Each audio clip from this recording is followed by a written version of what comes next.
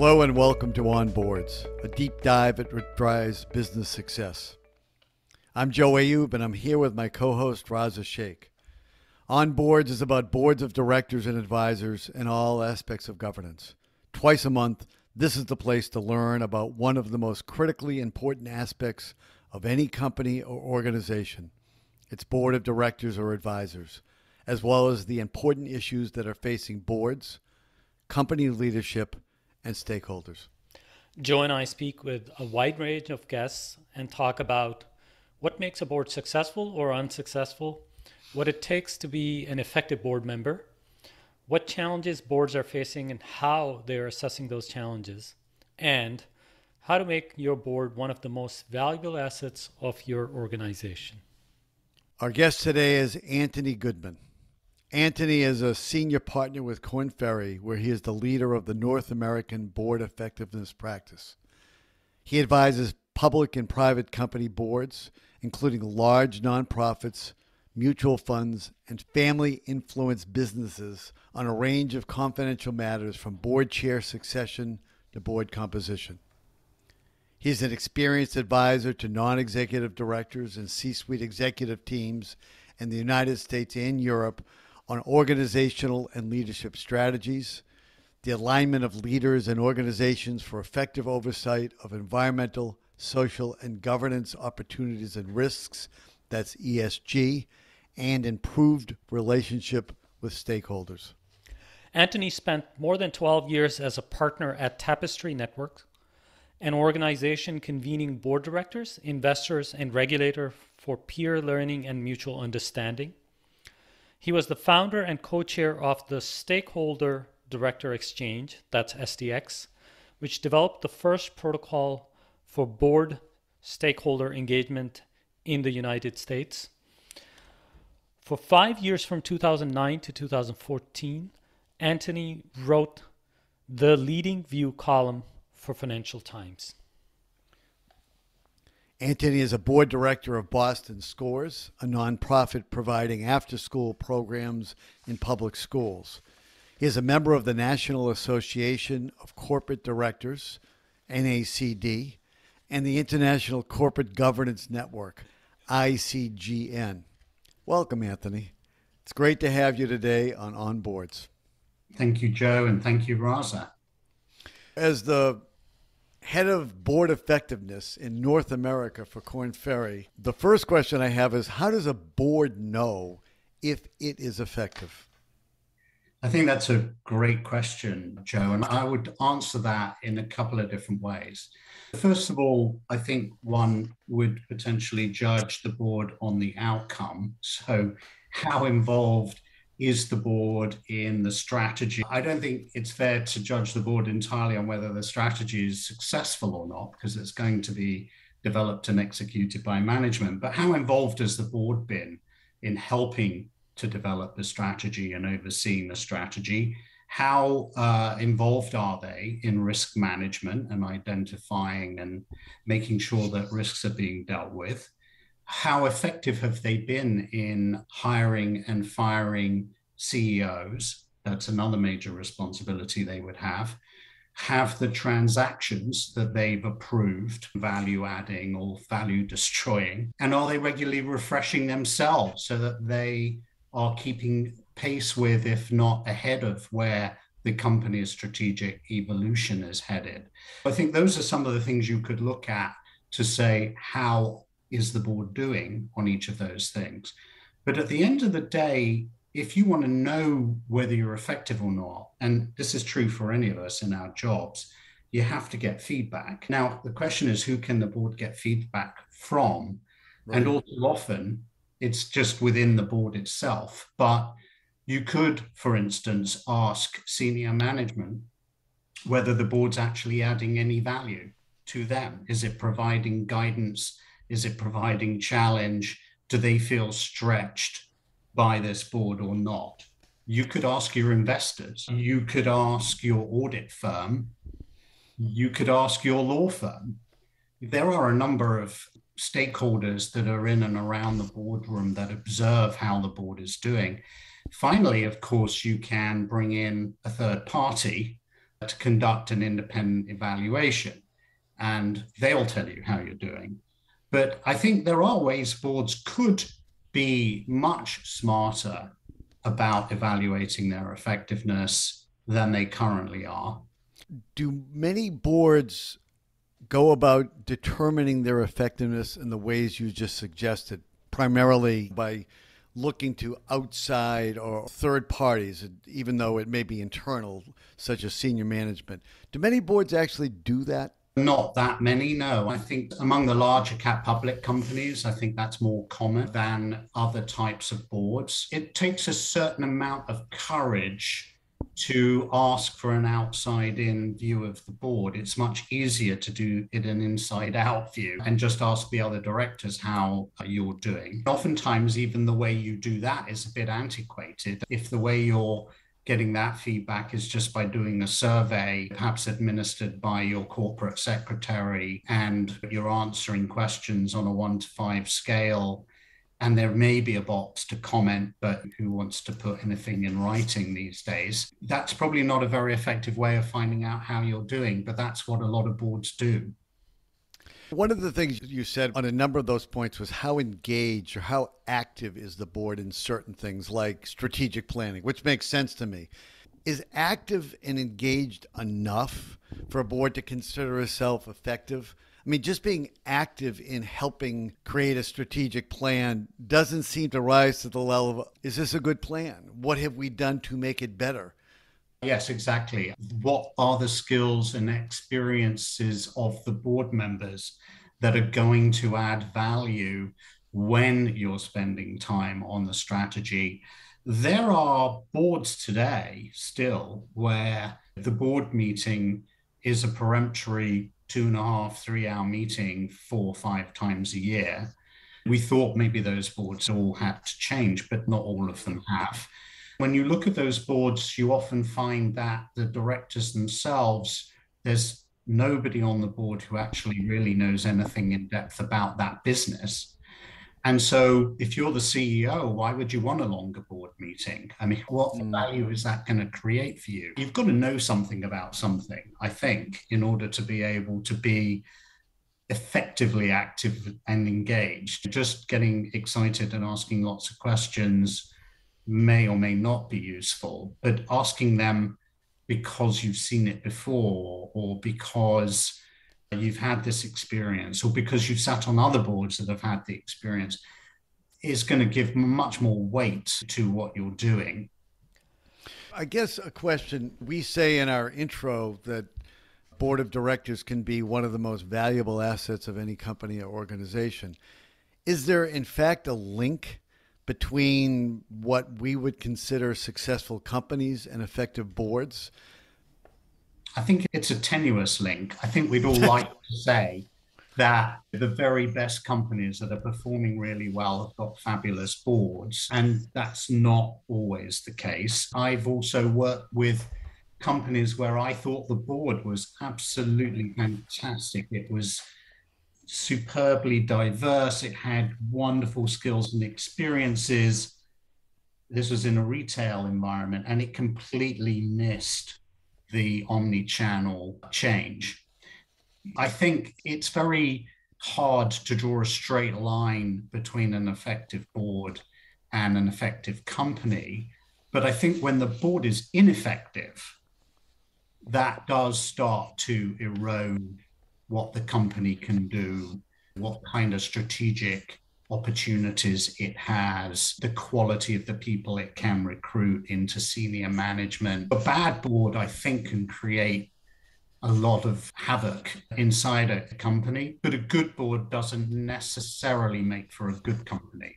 Interesting. We sort of know what's supposed to happen if there's a relatively effective board and they view the CEO as someone that's not particularly effective. He or she gets fired and they find a new CEO. What about the situations where there's a great company, a strong CEO, and maybe senior management team, but the board is basically ineffective? Mm-hmm. And it kind of rides on the coattails. You know, they look at the stock price and things are great with the market, investors love them, but it has nothing to do with the board's performance. It's really something about what management has done, or maybe what the culture that this particular board inherited. How does that play out? Boards are often lagging indicators around strategic change. They're not always leading indicators. And we often see companies where the board is quite a way adrift of, of where the company is evolved to. I'll give you a very stark example. A few years ago, I was working for an oil field services company that had made a decision that it really wanted to be in the shipbuilding business and so this was quite a big strategic pivot. And they had started to make that pivot. They had brought people into the management team to help with that. But when you looked at the board, everyone on the board was an oil and gas expert. Nobody was a shipbuilding expert. Mm. And the board was like the last piece of the jigsaw that was changed. I think companies and boards miss a trick that if they're going to be changing the strategy, if they're going to be doing some form of transformation in the business, actually changing the board ahead of the change, or at least at the same pace as the change, would give you a much better chance of being successful because you'll have people there who can ask the right questions, who can share their experience, who can provide coaching and mentorship to management, who can help inform the other board members. But in the absence of that, the board is actually really captive to management because there's mm. nobody on the board that can successfully challenge management. I think getting boards to recognize much earlier on that they need to change as well and thinking through what that change looks like and executing it, I think would be very, very helpful to a lot of boards. That makes a lot of sense. When a company goes through a merger, one of the things that I think we all would agree is that it's important to look at culture. Are these two companies compatible? Because when they aren't, it's highly likely there are going to be problems and it may not work at all. And I would say the Boeing McDonnell Douglas example is probably a good one. Without necessarily commenting on that particular situation, how do you address that? If you were brought in at a time when you could actually do something about a merger of cultures that didn't look right or might present problems, what would you advise?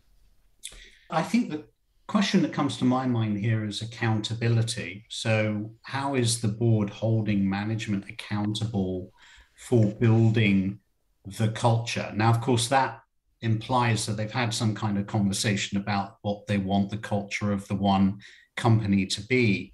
And I think a lot of boards have only in the last few years started talking about organizational culture as a board issue. Prior to that, it was always, oh, that's management's responsibility.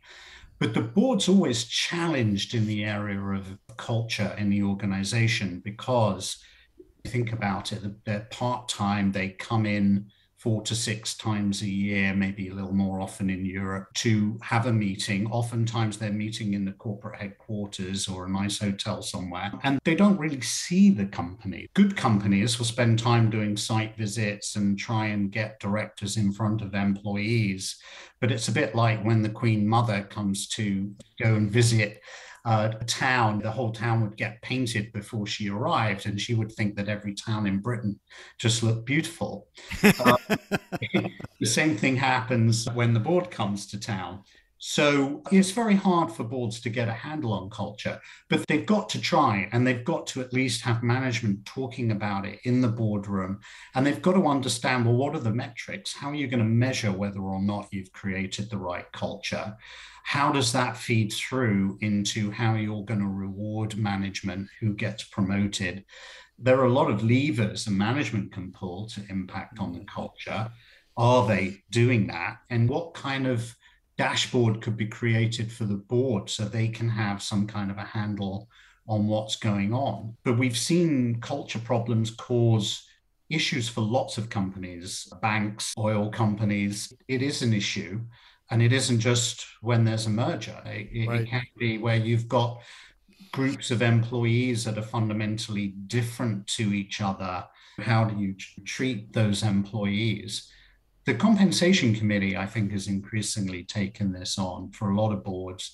Many of them are being renamed, as you know, compensation talent development, compensation and human resources, as a way of getting the board to spend more time going much more deeply into what is the talent, how are we attracting, developing, rewarding, retaining the talent that we have. And of course, the great resignation has just made that a much bigger issue. Very hard now for boards not to be talking about these issues.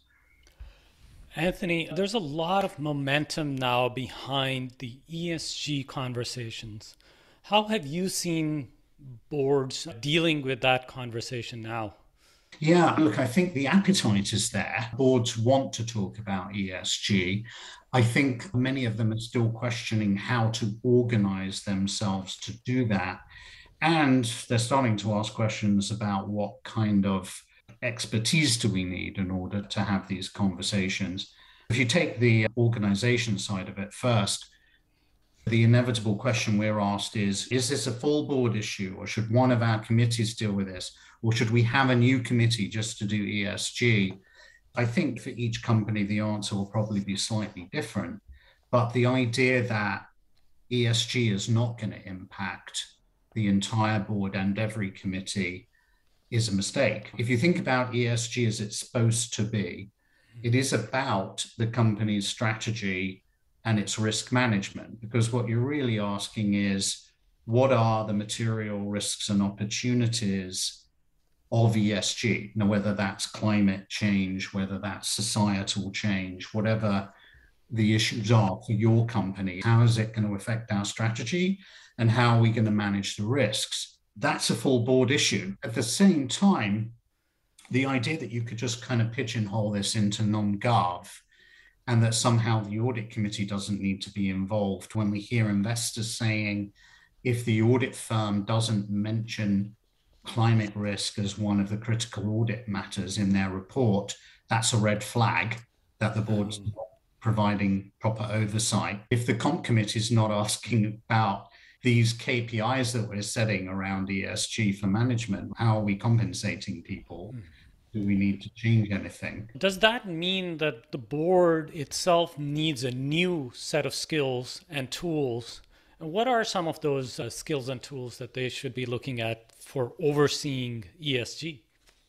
That is a great question. I think the SEC's proposed rule on climate related actually, I think, is going to make more intense scrutiny around this in the years ahead. First of all, I think the easy answer is that boards are going to say, oh, we now need a climate expert of some sort. We need an ESG expert on the board. My response to that is it didn't help ExxonMobil defeat engine number one. And interestingly, when you look at that situation from last year, ExxonMobil actually did have a climate scientist on its board. It had one there since I think 2017. And what engine number one did was put people who had more industry knowledge on the board. There's a lesson there, I think. That's the first thing. I think what boards need to do, first of all, is understand what are the material risks and opportunities for our company.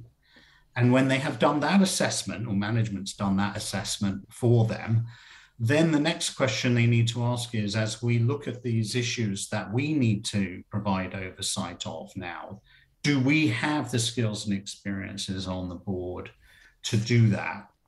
if there's something glaringly missing, how do we get that skill into the board?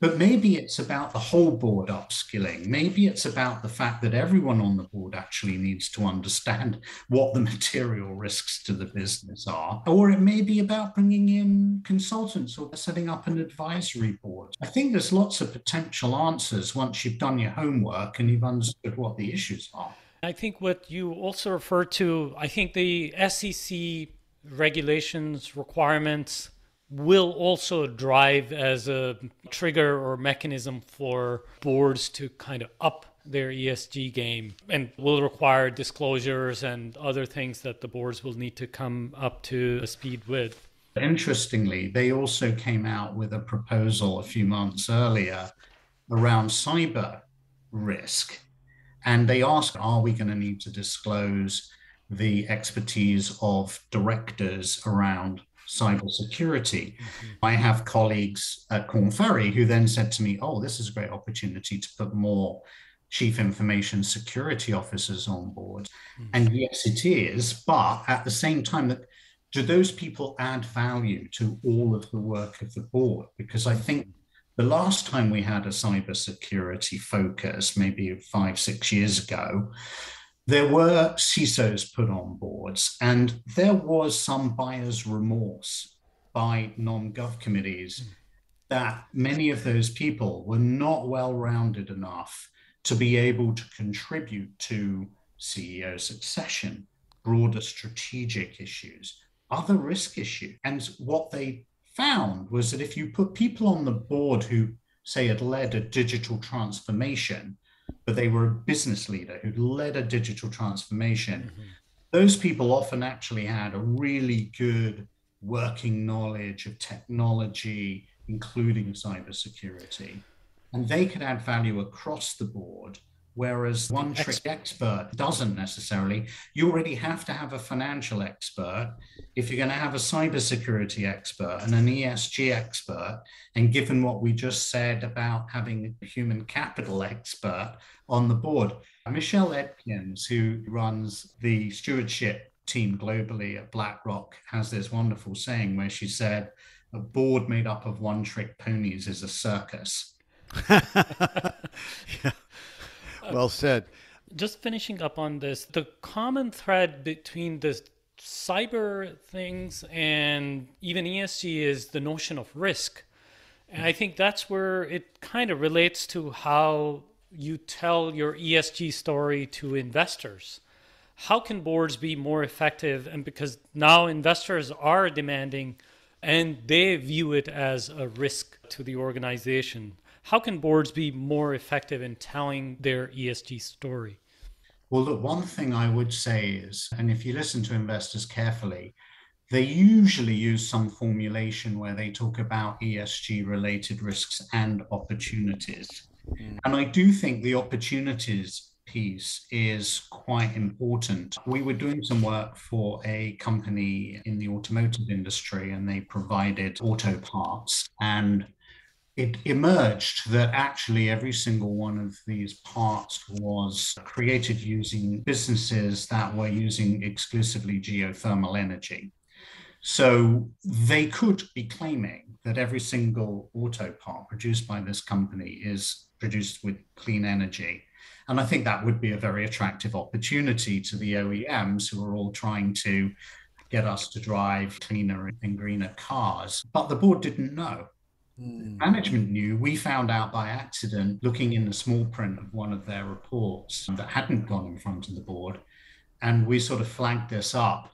And now, of course, it is something that will get mentioned in, the proxy when they talk about ESG. I, I think it comes down to a question of thinking about the balance of risks and opportunities here, but being clear, it, it is about both. And being really clear what the company is doing. Look, I think disclosure from the investor point of view is really about can you tell us what you're actually doing? The problem is when you write stuff that you're not doing, greenwashing, hmm. because the whole point of the disclosure is it should be a forcing mechanism that just forces the company to do something because they've got to say something in your bio, it talks about Korn Ferry working with companies on ESG enablement. What does that mean? ESG enablement. Yeah. Look, we talk very much about how, if you decide that you're going on an ESG journey, and I think every company is on an ESG journey somewhere on that journey. Some are further ahead than others.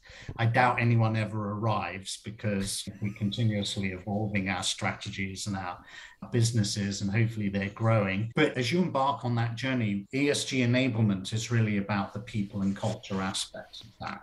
Do you have the right people that you need? Do the people you have understand what their roles and responsibilities are? How are you compensating people including at the top level, but all the way through the organization? Does the organizational culture support this ESG journey that you're on. It's really a whole series of things that companies need to do once they've identified their ESG strategy is well, how are we going to execute this? And the answer is always through people. And if you do anything with people, it has an impact on your culture. And so, how are you going to transform your organization to deliver? Let's talk a little bit about board composition. One of the biggest topics for a while, and rightly so, has been diversity.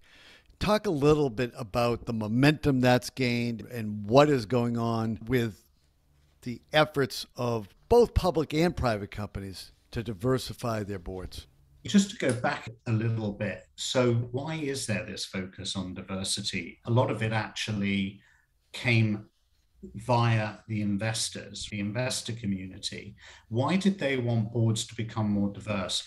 What they're really trying to do, I think, is to make sure that boards are cognitively diverse. But that is something that's really hard to do from outside. You can't assess whether a board is cognitively diverse from the outside. And by the way, there's nobody trying to assess whether they're cognitively diverse on the inside either. What did investors say? They said, okay, if we knew that people on the boards had definitely come from different backgrounds and different approaches to life, then we could imagine there might also be cognitive diversity. If we put more women and people of color and people from different socio-economic backgrounds and younger people on the board, we could hope that there would be diversity of thought in the boardroom. At the end of the day, those people who argue, well, I'm not interested in diversity around gender or people of color, I'm only interested in diversity of thought it's the same discussion. It is hmm. putting women on board, putting people of color on the board because you want more diversity of thought than you could get from 11 white men. That's kind of the background to this. What we've seen is boards have made extraordinary efforts to get more women on. We know that there are very few in the large caps now, I think none in the S&P 500 all male boards as you move down the long tail of public companies, the picture's not quite so good when you get down to the small caps. In terms of people of color, probably a similar picture. But there was a huge impetus after George Floyd was murdered, and a lot of companies made public commitments to do more around diversity in the company as well as on the board. Our own practice, our board practice over the last couple of years has been running at about 55% of all the people we put on boards in the US are women or people of color. Mm. And I think that's pretty consistent across all the search firms that that's what it's looked like. So the new directors coming on boards are more diverse. They also tend not to have been on boards before. And I think one of the challenges we're going to face over the next few years, once we start meeting in person again after the pandemic is that we're going to have, I think, a bit of an inclusion problem in boards because a lot of these first time directors, women and people of color, uh, are not perhaps being heard as much in the boardroom as they would have liked. I think a lot of board chairs probably think they're doing a good job trying to get everybody's voices to be heard. But I think that boards have to work quite hard to be inclusive and to make sure everyone feels comfortable in the boardroom. One of the things you said earlier was interestingly that boards are a lagging indicator, the last thing to change. Whereas my instinct is it should be the first thing to change. What are boards doing? What should boards be doing in order to be ahead of the curve? Yeah, I think so. Boards ought to be doing board succession planning. Now, we know that they do in their own reckoning when you look at these polls they feel they're doing a fairly mediocre job at management and succession planning. They're doing an even worse job when it comes to board succession planning. But thinking ahead they ought to be looking at the strategy of the company thinking about where it's heading over the next 3 to 5 years and then looking at the skills and experiences that they have today and understanding the gaps. You say 10 years ago, the company might have been a purely domestic company. Now it's made a number of acquisitions globally, and there's nobody on the board with international experience, nobody who's actually lived and worked. That's just a small example. Digital transformation would be the more obvious one right now.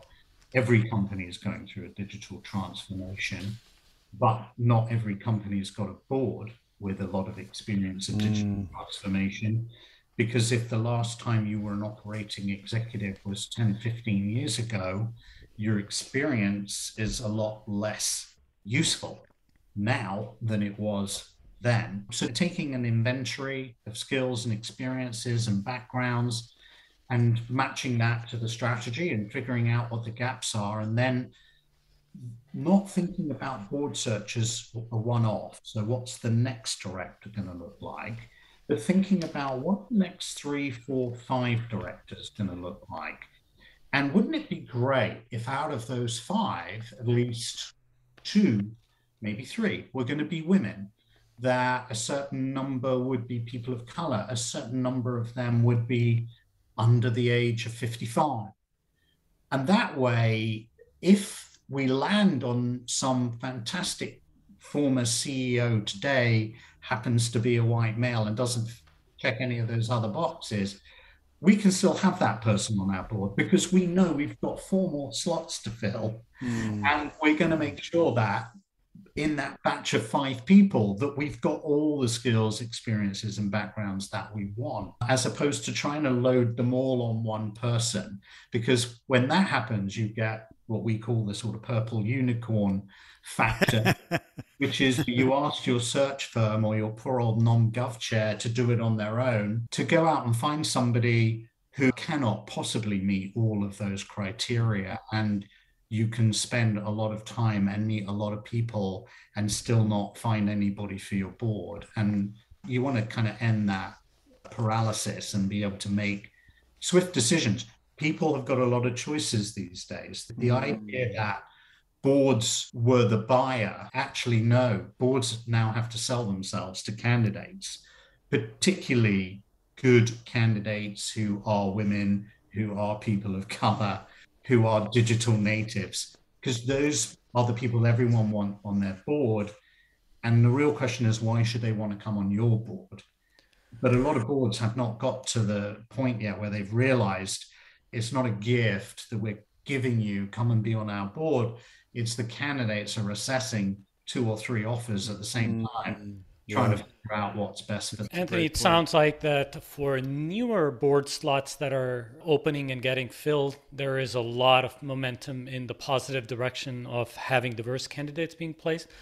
But you, we also know that new slots actually come up rare. I think we heard from one of the last guests that they figured that actually it's statistically more likely to be hit by lightning than to be placed on a Fortune 500 board. How can there be a capacity increase? I mean, it also relates to term limits and the culture around that. Boards like each other. How, how can there be some capacity increase to make room for more skills, more diversity, and more modern skills to be as part of the board?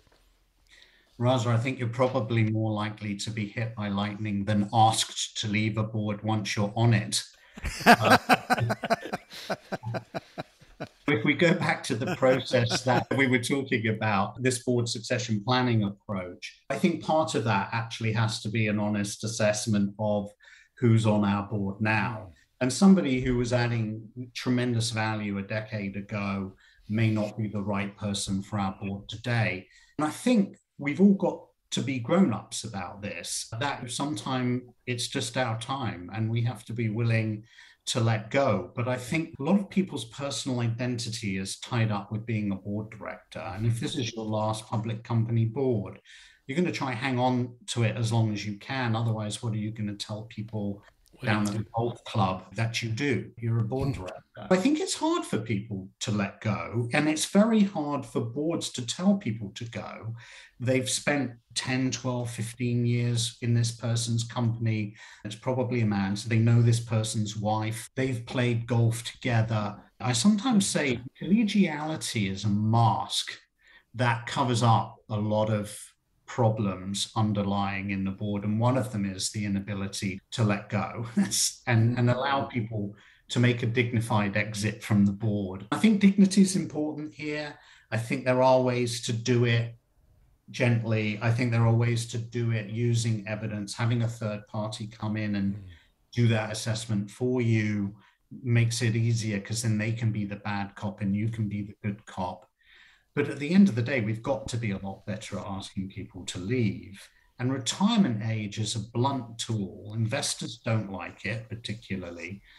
I, was literally talking to a director today, and their board retirement age is 72. And I said to him, Warren Buffett said, I want to invest in your company and come and sit on your board. You'd change that retirement age tomorrow and get rid of it, wouldn't you? and of course, the answer is yes. So age has nothing to do with it. I think tenure, in many ways, is more important. One of the things I find fascinating, I mean, I have a British accent, and in the UK, nine years you're no longer seen as independent. I'm not trying to make that case, but look at American non-profit boards. Almost all the big ones have term limits. You can do three-year terms, and you can have three or four three-year terms, and then it's time to leave the board. But we don't adopt that idea in public companies. And I sometimes think we should give it more consideration we do. In Canada, they're starting to look at this and they're looking at 10 years. If you've been on the board 10 years, A, are you losing your independence? And B, are the skills and experiences that brought you to the board still things that we need? And are you as up to date as you could be? In all of this, let me just say this to tie a bow on it I wouldn't do retirement ages, I wouldn't do term limits if boards really took changing directors seriously, doing serious board evaluations, including individual director assessment, and getting really good at knocking on people's doors or tapping them on the shoulder when it's time to go. Mm-hmm. You wouldn't need these other things. Yeah. Yep. Well Makes sense. I would say that your argument about age limit and Warren Buffett works the other way with term limits. Warren Buffett's on your board. You have a term limits of 12 years, and now you have to go tell Warren Buffett to leave. You're right, age is a blunt instrument. Term limits might be slightly better, but the reality is that the only thing that's really going to work is to have a better board culture around future planning. Like every other strategic plan, here's what we plan to do in the next three to five years and let everyone in on it and let everyone have a voice in on it. And so no one feels like they're being singled out. We're all in this to make the company better. Yeah. And you can help us do that by helping us plan what our board of the future is going to look like. Joe, it all starts with when they're being recruited onto the board with those expectations. Like onboarding is such a crucial element of that because that's where that hey once i'm on the board i'm never going to leave thing comes from nobody told them hey you may have to leave but yeah it's a great great topic to consider that uh, as time passes are we going to see more capacity on us boards coming up so that we can freshen up our collective boards and the state of boards Raza, let's talk about that expectations thing because I was once having a meeting with um, stewardship team of a large investor, and they raised that very point. They said, look, you're a search firm. Presumably, you tell the candidates for the board that they are only going to be on the board for 10 years, whatever the number is. And and we said no, that's not our job. That's really to signal that. But the fact is, I don't know any candidate that's ever had that conversation with a board chair or a nom-gov chair that said to them, hey, sometime around the eight to 10 year mark, we might tap you on the shoulder and say, mm. it's time. And you should expect that's going to happen. It would be so much healthier if we did set that expectation. And think about this boards are trying to put sort of younger, more digitally savvy people on. Mm. You've got a board director that ages, let's say it's a 52 year old board director, so about 10 years younger than the average age of being appointed to a board, and your retirement age is 72, are you really telling that director you expect them they're going to be on the board for 20 years? Mm. It's absurd. And when you say it like that, it sounds absurd. But have you told that director that our retirement age is 72, but somewhere around the 10 year mark, we're going to come and have a chat? Uh, and we may keep you on, we may ask you to leave. It would be a lot healthier if we were willing to do that. And by the way, look, we talked about collegiality. I want to give you another C word that boards should be thinking about, and that's courage. Mm. If we had courageous conversations between board chairs and board directors, between nom gov chairs and board directors, this would be so much easier. Mm. But collegiality often trumps courage. And I think that's a big problem for boards. That's a great way to end it. Collegiality trumps courage. Anthony, it's been great speaking with you. What a terrific conversation. Thanks for joining us today. Thank you, Joe. Thank you, Raza. And thank you all for listening to On Boards with our special guest, Anthony Goodman. We have a request for our listeners. Please take a moment to rate and review On Boards on the Apple Podcast app if you enjoyed listening to it. It really helps others discover our podcast. Also, you can visit our website at onboardspodcast.com. That's onboardspodcast.com. We'd love to hear your comments, suggestions, and feedback. Please stay safe. Take care of yourselves, your families, and your communities as best you can. And Raza, you and your family take care as well. You too, Joe. Thanks. Take care.